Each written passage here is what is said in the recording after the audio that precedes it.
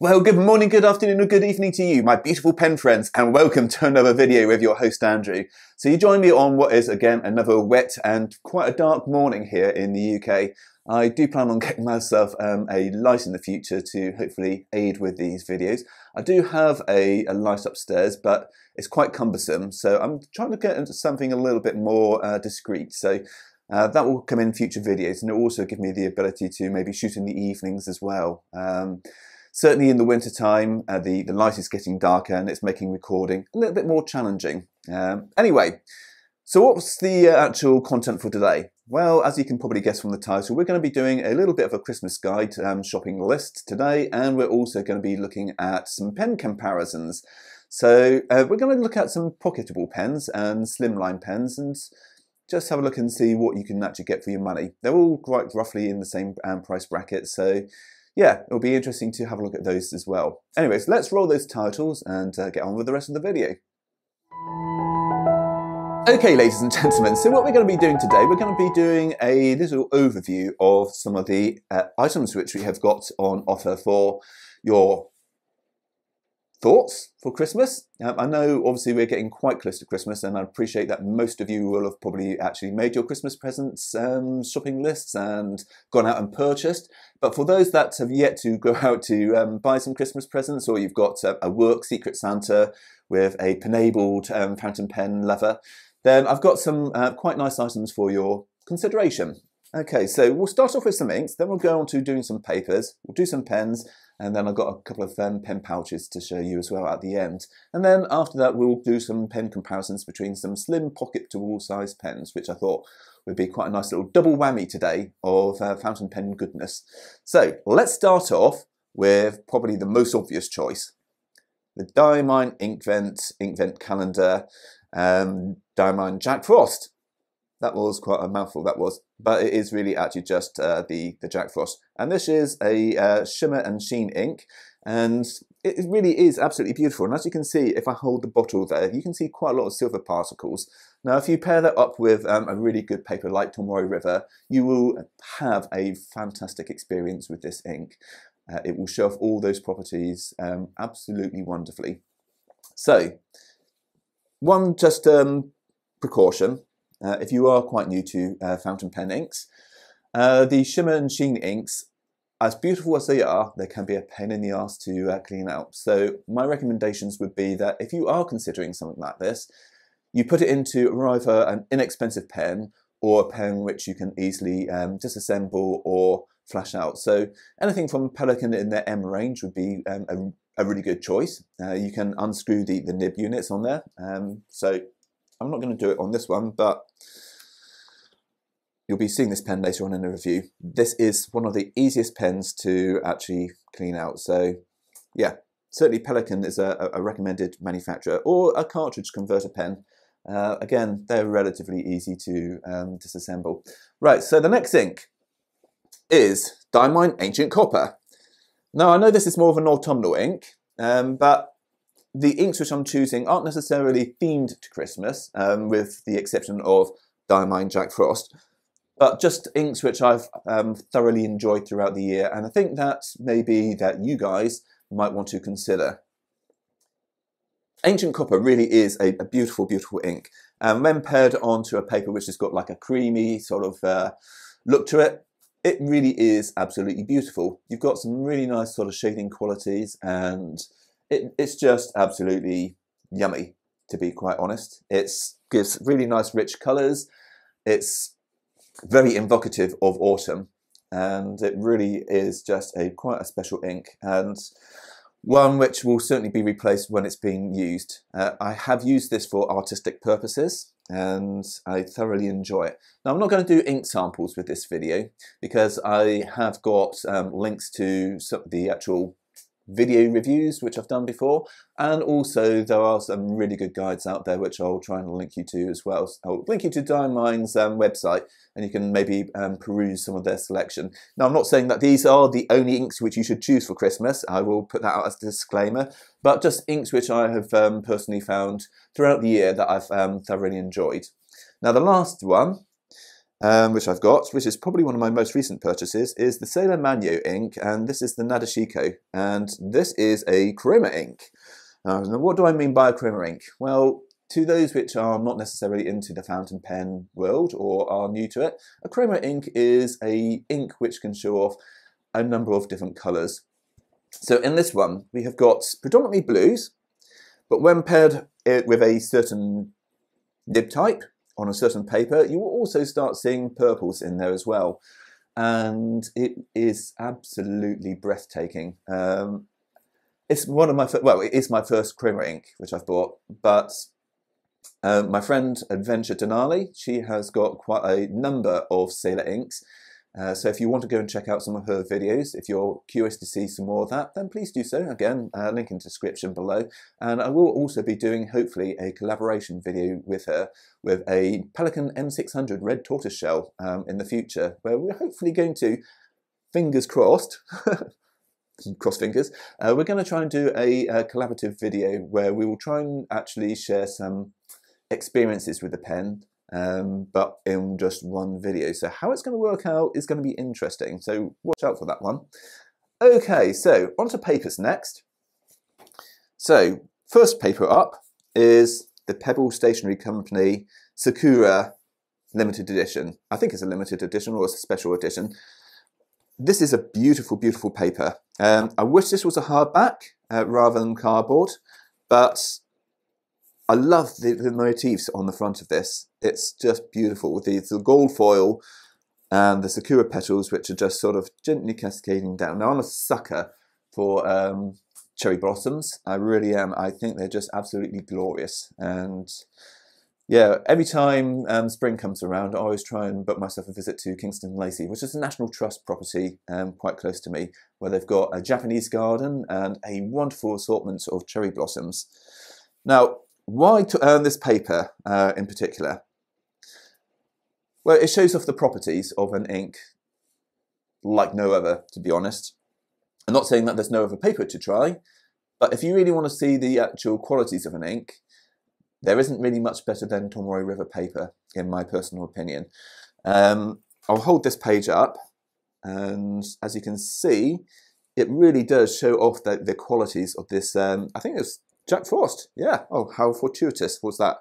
yeah, it really does show off the qualities of um, Jack Frost. Uh, it's it's spectacular. It really is. You can see all the sheening, the shading, and the shimmering um, on this paper. And whilst it is a little bit more expensive than regular paper, if you are trying to see what your ink samples are, I can't really reiterate this enough. It really is absolutely fantastic. Okay, so next up um, is the Leuchtturm um, now I have got again a review of this on my channel and I will confess I'm not necessarily a diary person but I'm giving it a try and I won't hold this close up because there's a lot of personal thoughts but it really is absolutely um, a wonderful wonderful diary and it's, it's, some quite clever little things in here as well so if I think it's in the back yeah there's a, like a little envelope in the back where you can sort of store things in like stickers and other bits of um, stationery in there as well. But what I like is the freedom of this um, paper. It's simply a, a, date at the top, and you've got no sort of separations, nothing too complex, and it's wonderful. And it does come with um, stickers as well, so you can actually uh, attach that to the front uh, to label what year it is and anything else which you might um, particularly want. There's also an inbuilt um, bookmark with ribbon, and you can also put the elastic around the front, which obviously stops it from opening up, which is very nice. Um, there are other diaries which you might want to consider. Um, again, I don't have a huge selection, but what I'm trying to do is just show off the things which I've bought which I thought might be interesting. I have actually bought my Aunt a Hobonichi this year, which I was actually tempted to keep for myself, but no, I am trying to spread the, the joy of fountain pen paper to people around the world and hopefully they will enjoy it. So, next up, we're going to have a look at some pens. And I'm going to choose a cheap pen, a mid-range pen, and a slightly more expensive pen. Um, I don't know what people's budgets are for Christmas and how much people spend, but if you're like me and you don't necessarily want to spend a lot of money, um, these three pens are, I would say, within the range of buying a loved one a pen, um, buying a friend a pen, and if you're really on a budget, then we've got um, something here for you. So, first pen I'm going to hold up is a Lamy Safari. Yeah, I know, it's a generic Lamy Safari, but really, there isn't really any better pen in this price bracket which will actually perform any better, to be honest. Uh, they are absolutely fantastic. And as a beginner pen, if you're trying to introduce someone to the fountain pen world, it does come with a triangular grip. So it does train people to hold the pen correctly. And I was actually having a word with um, Katerina from Santini, um, asking about what content she would like to see on my channel. And she said, people holding fountain pens. So this is going to double up, okay? Lamy Safari, absolutely fantastic. Triangular grip, nib is easy to take out and disassemble. It's a cartridge converter. Now, I don't have a cartridge in here. Um, this one is actually for sale at the moment. And it really is a wonderful, wonderful pen. Now, there are other um, fantastic pens in this price range, but none which really beats um, this pen in terms of its simplicity and uh, nib options. So the wonderful thing with this is, if you do want to upgrade to a gold nib, you can. It costs you around about £90, but you can get yourself a gold nib and put on a Lamy Safari. So it's a really customizable pen. And as you can see, I've done one of my paintings on there as well. Stepping up, we've got the Narwhal Schuylkill in Chromis Teal. And what I love about this pen is, again, it's very inexpensive. And I bought this from Scrittura Elegante in Holland. And I've got another one of these coming, hopefully very soon. Um, I've got the shipping notification at last. Uh, so what do I like about this pen? Simple. It's a piston filler, decent clip, nice colours, decent ink capacity, and wait for it, £50. Yeah, that's right, £50 for a essentially a piston filled pen, good ink window, so you can see the ink sloshing around, and a really good um, nib. It's buttery smooth, it performs well, and that's all I can really say about it, to be honest. It's a really, really beautiful pen. For £50, you're really not going to get too much better than this. Um, yes, there are other manufacturers, and I'm sure in the comments you can probably suggest some other pens at £50 which you would recommend. But if you're trying to look for a more interesting filling mechanism, then there's not really going to be much which beats this. Okay, so next up we have got a Leonardo Messenger in caramel and this is wonderful. Now this is going into the um, PAR 100 region and it is an absolutely beautiful pen. Uh, the material on here is fantastic. It is a hand-turned pen and whilst the actual writing experience isn't going to really differ between the other two um, writing uh, instruments, what you are getting, as I say, is a piece of more of a, not necessarily bespoke, but from a smaller company where they're actually doing things by hand rather than mass um, producing. And it really is a, a, sublime pen. Now, Leonardo do have other pens in the range which you might want to consider, but if this is still available, it comes with a cartridge converter, a number six size nib, and this is a JoWo nib. And again, you get a gorgeous color and hand turned. So you, are getting quite a lot of, um, for your money here, to be honest. Um, having something which is handcrafted is always going to add on uh, the pounds, unfortunately. Um, well, not necessarily unfortunately, but maybe for your wallet. But the plus side is that you know that you've bought something and you supported an independent artisan. So that might be up for your consideration. Now, the last two things, now I'm not suggesting that you go out and buy yourself a Nakaya unless you're super rich, but you can buy these pen pouches and they are absolutely gorgeous. So you're getting yourself um, Japanese kimono silk um, for around about 35 euros. Now that is quite expensive, I will grant you, um, or 35 pounds I should say. But it really is beautiful. Uh, you get a nice little toggle on here. Um, it's a single pen pouch. The gold sort of diamond patterns in here are absolutely beautiful and it's going to keep your Urushi pens really safe. Uh, so if you are into Urushi pens and you want to get um, yourself or a loved one something, then yeah, consider this. Uh, next off is another um, pen pouch from a lady, I believe, by the name of Anne Steel. Um, I will again put the link to her shop below. I believe she's still going. Um, this is, a, again, another pen pouch. So, yeah, absolutely beautiful. Um, this has got a dragon motif. It's a two-pen pen pouch. And if I unopen this, in fact, actually, I'll unopen the other one in a, a moment so you can see the inside you get really good adequate storage in here. Now I've got two big pens in here. I've got a Leonardo Momento Zero Grande in Arco. Certainly not necessarily a Christmas present which you would consider buying another person, especially if you're a fountain pen lover. You'd probably find it very hard to give that away. But I digress. It's really nicely um, constructed. It's very well padded on the inside and it is going to keep your pens um, protected. So certainly something to consider there. Uh, so let's just show you very quickly the inside of the Nakaya. As you can see, it's got a really generous um, flap on here. Goes down and then it ties around. So it's really, really super, super um, protected there. But you've got a really nice uh, yellow insert here and it will fit any pen of um, any size in here uh, from Nakaya's range. So if you want to put in a um, cigar portable 17 millimeter, then it will fit it um, because you've got that really generous flap which you can then just fold over the top. So that is the Christmas recommendations. We'll now move on to doing the pen comparisons uh, for slim and pocket pens and then we will finalise the video. Okay ladies and gentlemen, so we've got three pens here today which you might want to consider for um, purchase. So we have got a Pelikan M200 limited edition or in the gold swirls. We've got a Schon DSGN Pocket 6 in Cinnamon Suminagashi, and we've got a Sailor Pro Gear Slim in the Fairy Tales Vega finish. And they're all absolutely beautiful, beautiful pens, these are.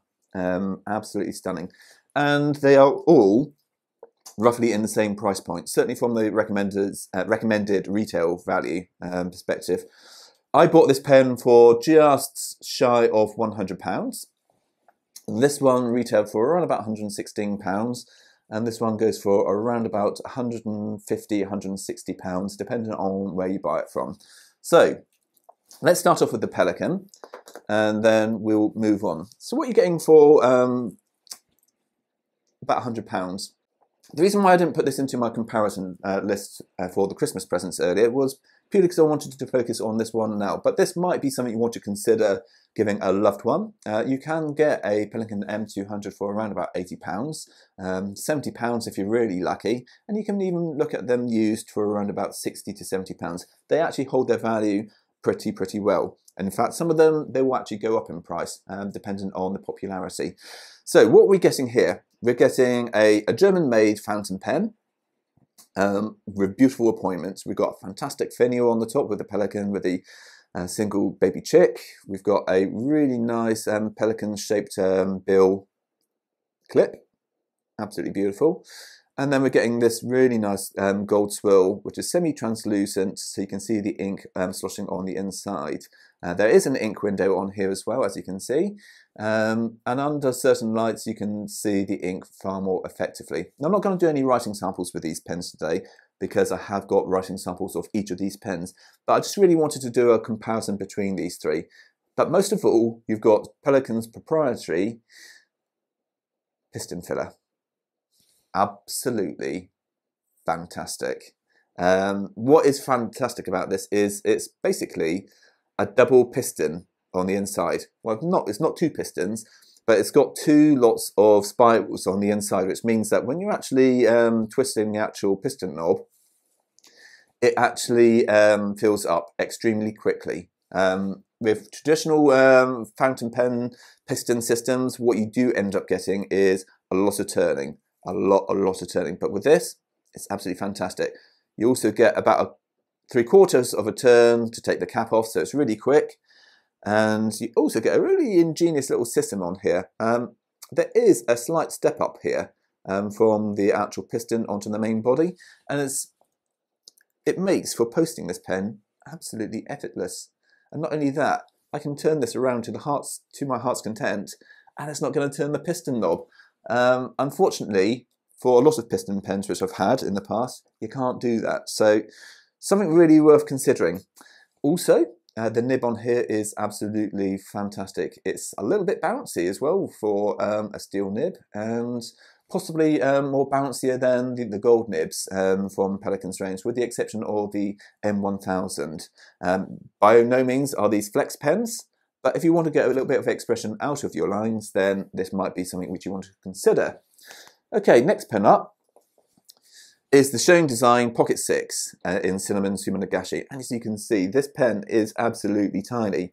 It really is. It's beautiful you know, from this um, Suminagashi uh, finish on here, which is essentially you just dip the paint, sorry, the pen into like some suspended paint on top of water, and you dip it out, and that's what you get.